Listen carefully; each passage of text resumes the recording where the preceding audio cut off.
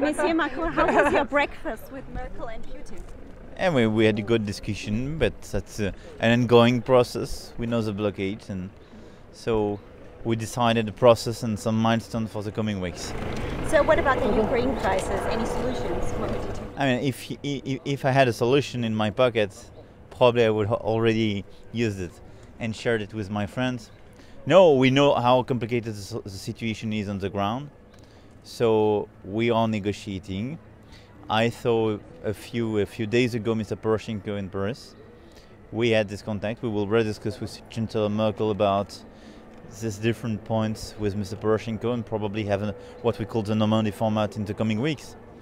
Uh, it's not a, it's not a black or white solution, and and will, it will take time. And what about the climate problem? Will that be in the communique, in the end of the communique? Uh, we will reconfirm for 19th of us our deep commitment to the Paris Agreement.